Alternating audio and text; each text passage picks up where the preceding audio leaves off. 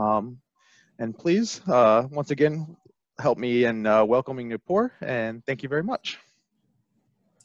Um, thanks, Daniel. I hope everybody can hear me well. Um, and thanks for the lovely introduction. I'm so happy to be able to uh, support Jomar Life Research with the webinar here.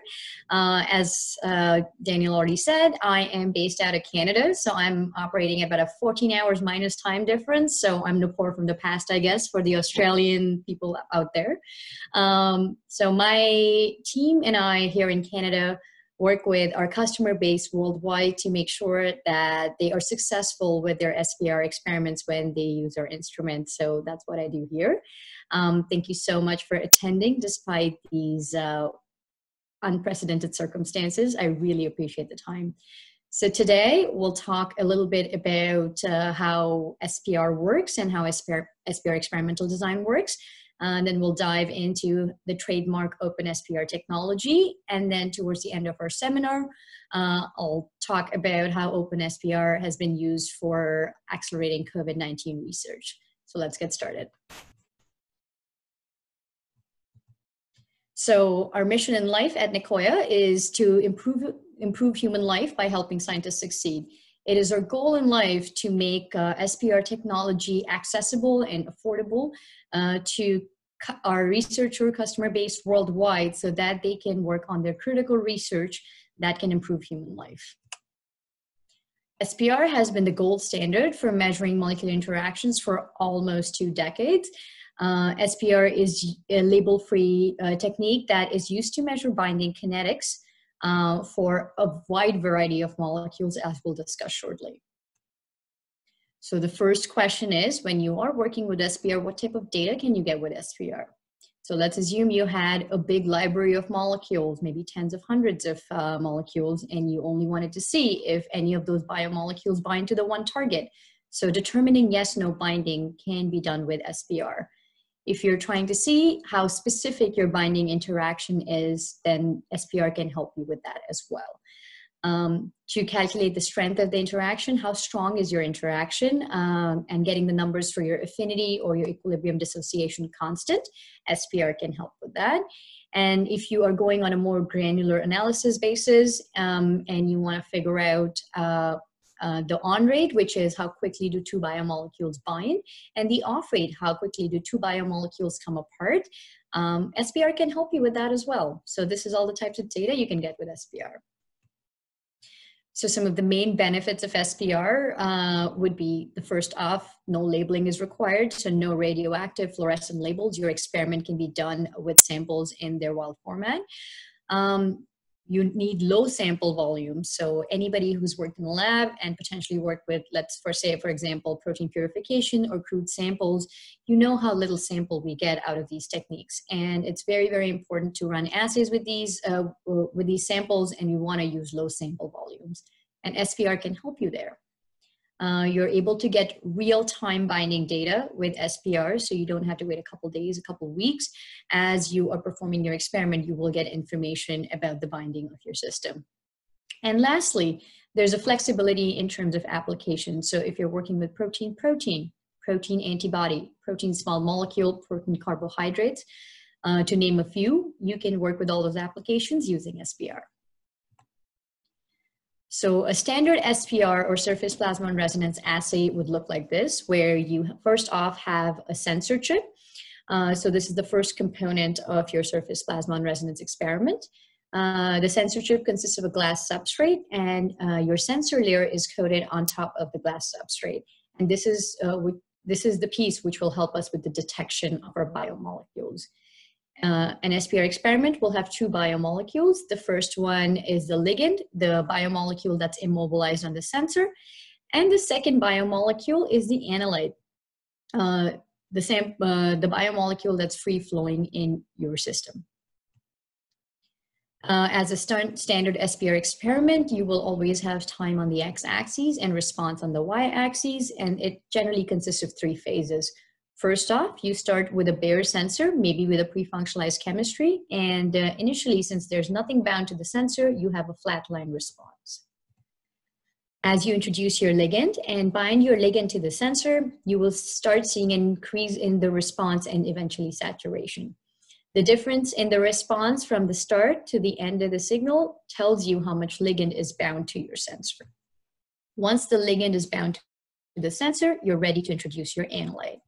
We generally recommend introducing three to five different concentrations of analyte to get your binding kinetic data. So as you introduce your analyte, you will see the signal go up, uh, so, and this will uh, translate into the association phase. Once all the analyte has flown through the system and there's no more analyte and only buffer flowing on your ligand, you will see a dissociation and a decrease in signal, which will correspond to the dissociation phase. Um, as you perform experiments, there's several different kinds of SPR instruments that will exist in the market. Uh, for a traditional SPR instrument, this consists of a very, very thin film of gold. And as your laser light source shines uh, on this gold surface, uh, you will get uh, an, a standard angle of reflectance. Now, as you start uh, observing binding events uh, close to the sensor surface, this will lead to a change in the refractive index near the surface of the sensor and change in the reflectance angle. All this information will be detected by your detector and converted into a response. So this is what a sensorgram would look like, and you would see an increase in the response as the binding signal increases. For Nicoya's open SPR technology, instead of using a thin film of gold, we use a nanostructured gold we measure a change in the absorbance peak instead of the angle change for traditional SPR instruments. So the nanostructure gold over here will absorb light, creating a distinct absorbance peak for the gold. And as the binding events occur on the sensor, you will see a shift in this absorbance peak, which will be translated into a response. So with our nanostructured gold, we have greatly simplified the optics where we have LED light source that will shine on your sensor and you have your detector on the other end. We continue to measure the change in the refractive index close to the sensor surface, but it's just a different way of measuring it with the gold. So some of the main advantages of the open SPR technology include simple and robust optics. Uh, due to the simplification of optics due to the nanostructure gold use, we are able to shrink the size of the instrument by a lot, so that's great. Uh, you get minimal background interference because you are working with localized surface plasmon resonance fields. Uh, you're able to get a high sensitivity uh, signal out of your um, instrument because you are working fairly close to the sensor surface. And with the robust spectral shift data, you are able to get real-time uh, binding information from your samples. Our flagship instrument over here has two channels. Uh, the first one being the reference channel for testing for your non-specific binding interactions. And the second channel is your active channel that will be testing for the specific binding interactions. We have quite a few features automated for the system, and we do offer the system with temperature control and a wide range of flow rates depending on the samples you're using. Overall, with the simplification of the optics, we have been able to make our instrument bench top. So it's the size of a household microwave. So you don't require a lot of space on your lab bench to actually work with the Open SPR. The instrument is highly user-friendly. So you can be trained on the instrument in a few hours, anywhere from a summer intern to a graduate student, and they can incorporate the Open SPR as a part of their workflow for their research. Um, as I mentioned before, you're able to get real-time binding kinetic data and you don't have to wait a couple days or a couple weeks to get the data. You can get it in real time.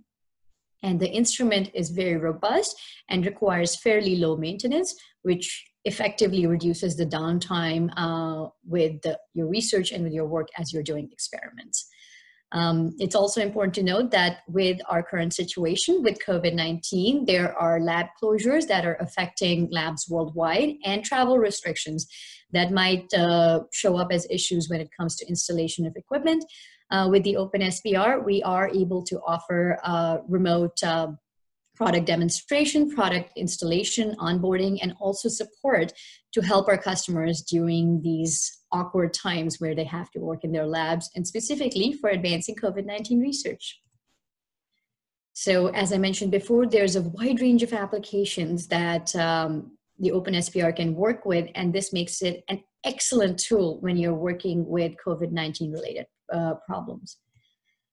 Either you're working with um, vaccine development or you may be working with diagnostic tool development, OpenSPR can be used uh, to understand the mechanisms that are surrounding the coronavirus and uh, getting a better understanding of these processes can help us develop vaccines and fight this problem with a billion people around, more than a billion people around the world being affected by this. So here's a very, very simplified version of how the coronavirus would work. Uh, so our coronavirus is um, basically uh, a positively charged RNA strand uh, encapsulated in a lipid um, uh, membrane. Uh, you've got your uh, spike protein receptor binding domain uh, in your coronavirus that will selectively go and bind to the ACE2 receptor in humans. And once this is bound, it will fuse into the cell and then the infection cycle will begin. So overall, understanding how the spike protein receptor binding domain uh, will work and how it will transform can be very, very, is very, very essential and almost a key factor when you're looking at vaccine development or you're looking at diagnostic tool development, anywhere from stopping the virus from growing or even testing for anybody who may have immunity or contracted the virus. So what we've done over here is our team actually worked with a system where our ligand was the coronavirus spike protein receptor binding domain, and we immobilized that on our carboxyl sensor um, to begin with. As a proof of concept, we first have a monoclonal antibody from uh, rabbit that we introduce in just a running buffer uh, to test if we are able to specifically detect the signal for our monoclonal antibody with respect to our ligand. Uh, we show in this graph that with five analyte concentrations going from 150 nanomolar all the way down to 1.85 nanomolar uh, at a dilution factor of about three, we are able to detect highly specific and very, very strong binding signals for our monoclonal antibody against the uh, spike, spike protein receptor binding domain. We're able to observe that our KD is uh, in low nanomolar uh, range, uh, which actually indicates a very, very strong binding system. Going into a more realistic situation where you might have your antibody in a more physiological sample, maybe in serum, maybe in plasma, um, we actually um, tried to replicate uh, that idea beyond our proof of concept as a part two of this study, where uh, we spiked our uh, antibody in serum in about 50% serum. And we continue to see similar results uh, for our kinetic constants. So the binding mechanism hasn't changed and the open SPR is able to detect the highly specific antibody uh, against the spike protein and uh, show very, very strong binding. So again, our binding kinetic constants are not affected, uh, which makes OpenSPR an easy to use technique anywhere from your um, bu running buffer samples to serological samples. And lastly, the third part of this study was to understand if we can improve our limit of detection. So generally when you get your samples, maybe the biological samples, um, you would get them in serological media and you might have very, very low quantities of your um, monoclonal antibody.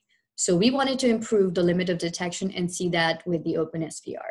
So what we've done here is that after our monoclonal rabbit antibody has been bound, we introduce a secondary amplification antibody, which will go bind to the FC region of the primary antibody, thereby helping increase the signal and increasing our limit of detection. So an example over here is where we have used our five and a half nanomolar um, sample of our primary antibody. And once we introduce a secondary antibody, we see almost a 300% increase in our signal, which will make it a highly effective tool when you're working with very, very low quantities of sample in a serological medium. So overall, our study has shown us that anywhere from proof of concept to working with complex media, and also for improving limit of detection, you can use OpenSPR through and through when you are trying to, trying to study the coronavirus uh, and its mechanisms of binding, um, maybe for vaccine development and maybe uh, for diagnostic tool development. So yeah, that's how we have been using OpenSPR and a few of our researchers as well, trying to combat the problem of the century, I suppose. And um, yeah, so that's how we can help at Nicoya. So let us know what we can do for you. Thank you so much. And uh, yeah, opening the floor to any questions you guys may have. Thank you so much, Nupur. That was a great talk and very uh, enlightening on the uses of OpenSPR and, and specifically any kind of infectious disease work, but specifically COVID work, right? So could be very beneficial in, in drug discovery and virus cell interactions and whatnot, right? Absolutely. So um, does anyone have any questions for Nupur?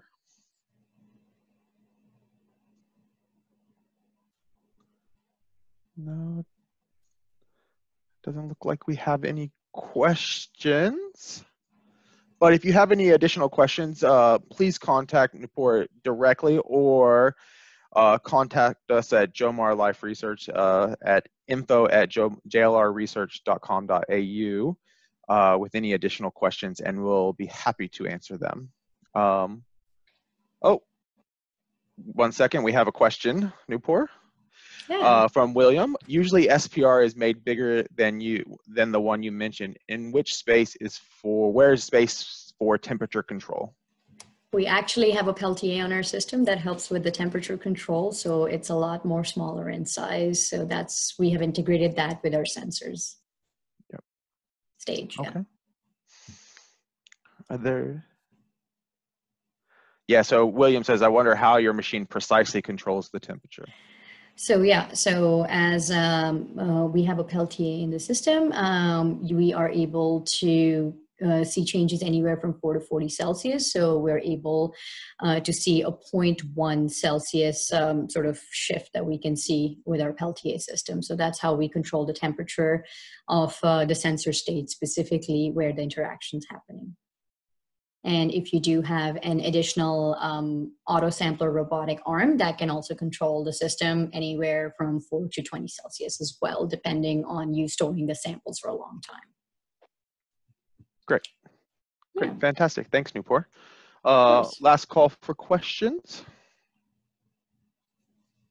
Uh, I think that's that's it. And like I said, we'll be posting this.